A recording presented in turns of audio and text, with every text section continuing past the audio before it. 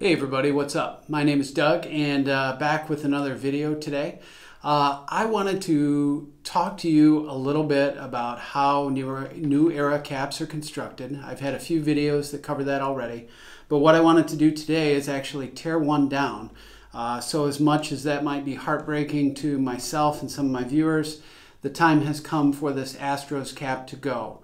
Uh, I've loved it. It's been through a lot of battles with me, a lot of yard work. Um, but uh, in the interest of science, we're going to take this apart today and uh, see how some of the construction details really show themselves uh, underneath the hood, so to speak. So stay tuned. So to accomplish this teardown, I'm going to resort to a few simple tools. Um, first up, a couple of utility knives. I'm just going to have these on hand in case I need to uh, cut into any details. Uh, secondly, I figured a good pair of scissors would be available, um, would be potentially useful. But the main tool I'm going to use is actually a set of tin shears, which are normally used to cut flashing around the house uh, on the exterior, but they do a good job of cutting multiple things. So I'm actually going to cut away some sections of the cap, and then we'll take a look again with my tin shears here. And uh, I'm going to start at the bill, probably come up here, come over to this side, and then just avoid the New Era flag logo there. So we're going to see what we can do here. Now these are pretty tough. I do have some good leverage here, but seem to be a little stuck. So I'm going to take this offline. You can see what I'm starting to get there. It's just a section through that area. So here we'll transition to the side. Again, I'm going to come just to the side of the New Era logo. Now right here is probably going to be the toughest point because this is the intersection of the sizing, a few folds of the fabric as it's been tucked in, and of course all the sweatband materials. And I actually just got through it without too much difficulty. So let's try and make a turn. I'm going to try and go through the buckram now. I'm going to try and align with my cut down there. And again, right here is where you got a lot of intersections of fabric as these crown panels are brought together. I'm going to go right through the eye, eyelet there, the ventilation hole. Buckram seems to be pretty tough, but I'm getting through it. Apologies to Astros fans out there who are witnessing the destruction. And we're getting to some really, really uh, thick and layered parts of the construction. So I'm going to maybe work on this with a little bit more leverage and I'll let you know how it goes. All right, so I was able to get through this sweatband and I'm about to make the final cut here just to link up the cuts that I made from the top all the way through the visor and the trim is going pretty well. Whoop, there we go. Okay, so uh, I'm going to take some detailed photos of what we have here. You can see here we've got the visor construction revealed, um, sweatband construction, and then you can see the layering and the bonding of the buckram here uh, to the fabric panels. Then you can see a little bit of what the seam tape does uh, and how that seam is tucked under. So, all right, so really interesting as I'm working around, and I've folded down the sweatband um, you can see the presence of the sizing, which is really stiff.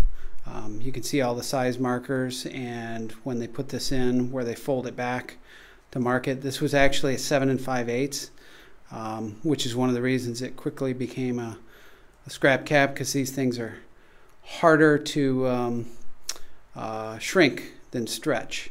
Um, you can't shrink them and keep the appearance very well. So this one became my uh, work around the house kind of cap. So um, you can see the, the marriage of the sizing and the sweatband and the fabric folds, how that's all kind of layered in. And you can see as I pull it apart, some of the seams here, um, how that sweatband is kind of layered in. Um, there's a cushioning layer in there of foam. I think more nowadays that's probably a black foam in there um, that I've done from mods on other caps. Looks like there's another liner of some sort. Looks like a cheesecloth or, or kind of a non-stiffened version of the buckram. So we're just kind of pulling this apart. Um, yeah, so there's multiple layers in that sweatband, but the sizing is really the thing that determines You know, that's a hard, stiff plastic. It's very similar to buckram. And uh, that's really what sets the sizing. And when you're stretching your caps, that's really what you're expanding.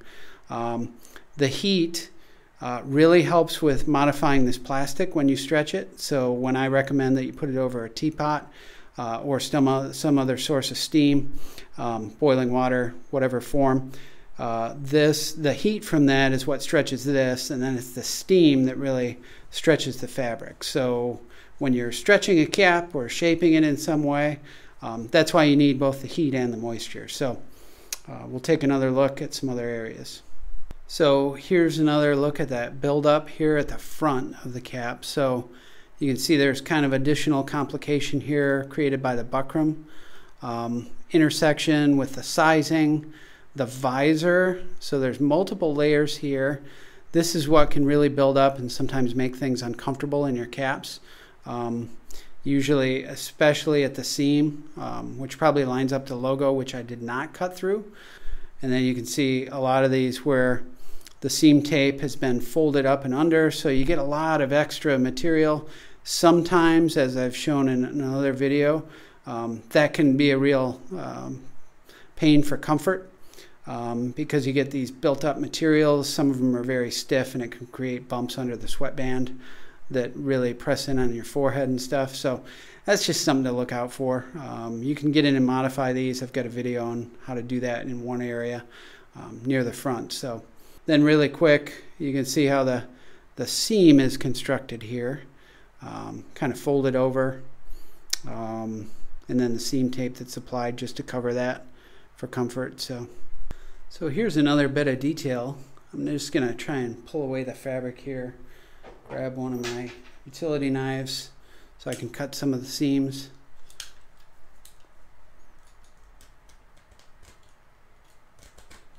Trying to be safe here and not get the blade too close to my hand. But just pulling away so I can see the actual material of this visor. And, oh, okay, so you can see the perforations there from all the stitching. That must be a, a pretty aggressive uh, sewing machine. Yeah, so this is really interesting because it feels there's been a lot of debate on whether uh, caps uh, use cardboard or plastic or thermoplastic visors. This to me feels like some sort of hybrid. It has a very plastic feel, but it definitely feels like um, some kind of composite, like it could be a paper, cardboard type stock that's used here. You can see some of the fraying. Um, but it definitely has the texture and feel to my hands as though it's some blend uh, or halfway point between cardboard and plastic. So that is pretty interesting. I've always been curious about that. Boy, another cool thing is I just started to realize that uh, the bonding that's happening between the fabric and the buckram, I'm able to peel this away and uh, may actually take this a little bit further does seem like there's some spots. Uh, I've hit the eyelet hole here. Um, so, so there you can clearly see the backside embroidery through the fabric. Um, I believe that takes place into the front two panels and then it's bonded to the buckram. So that's why you get read through. Um, sometimes you get the shape of the logo. I've also got a video that shows you how to take care of that in one way. So I did cut away the eyelet and you can just see a little bit more about the residue from the buckram. Now I've torn that away. It does leave kind of this dot pattern from the cheesecloth shape.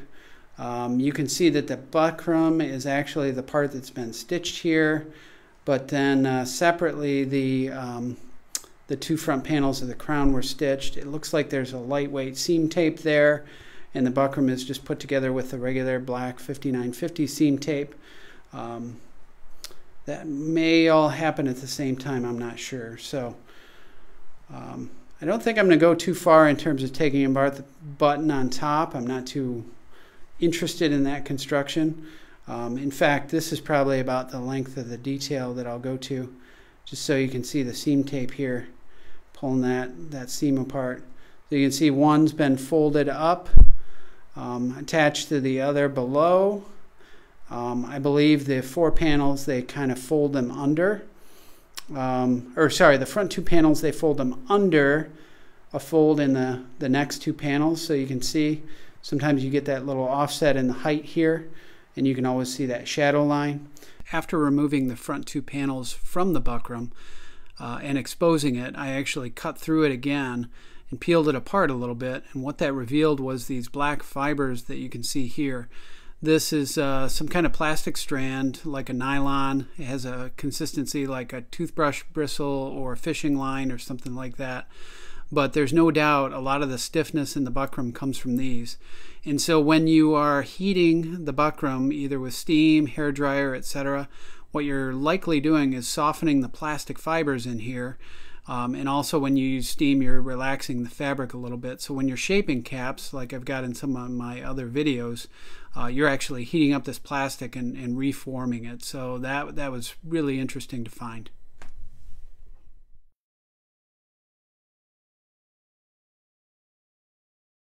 Um, this is actually somewhat of a vintage. Um, it's actually marked as a diamond collection, New Era. I actually got this when I was traveling about, uh, oh gosh, it was probably uh, 20 years ago. And uh, I think the time has come for this one to go as well. I've tried to stretch it, got it a little too small when I first got it. You can hear kind of the crinkly sound of the sweatband. So this is probably a trip back in time in terms of uh, how New Era caps were constructed maybe 20 plus years ago. Again, apologies to Pirates fans. Sorry to make you have to watch this. Anyways, uh, got the cut here, going through the thick area of the sweatband. This one's actually been easier to cut, so I don't know what we'll find underneath that makes that true, but uh, final cut here right through that area, and we're good. And you can see there, there's those stitch holes again.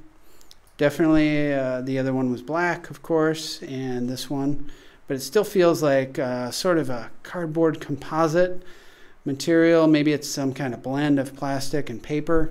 Um, um, but a lot of the things I'm seeing in this cap are very similar. So you can see the buildup like we saw in the Astros cap at the front. The sizing is there. The uh, sweatband liner, the cheesecloth, the foam, that's all there. You can see this foam in here. I've had this cap a lot longer, so it looks a lot different than the, um, the Astros cap there. And of course, this still had a white sweatband on it. Buckram pretty much looks the same. And in fact, I'm having trouble peeling this one. Could be because the Astros cap a lot of got a little bit more beat up and it was easy. Oh, here we go. This one separates pretty easily too. So pretty much the same thing um, which is good to know because I don't think the 5950 construction has changed all that much in uh, the 15 year difference or so that I had between these caps. Again, you can see the same seam construction there. And uh, yeah, really very similar.